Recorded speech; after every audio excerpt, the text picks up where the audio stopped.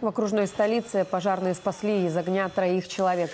Сегодня в 8 часов утра на пульт диспетчера поступило сообщение о возгорании в многоквартирном деревянном доме на улице Пионерской. Первые пожарно-спасательные подразделения прибыли к месту спустя 4 минуты.